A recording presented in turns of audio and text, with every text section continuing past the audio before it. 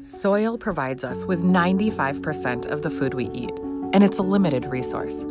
Think of the earth as an apple. If we slice it into four pieces, three slices would represent the earth's oceans, and the last slice would represent the land.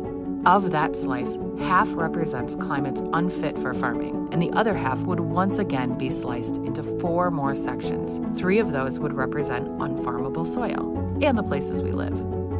We're left with just one thirty second of that original apple, and its skin, that is what represents all of the Earth's topsoil, the same soil we depend on to grow all of the world's food. Unfortunately, that critical topsoil continues to shrink. At General Mills, we know it's imperative to turn that trend around, not just sustaining our soil, but regenerating it back to healthy, productive land for our farmers, for our future generations, and for the planet, so that we can continue to grow food for years to come.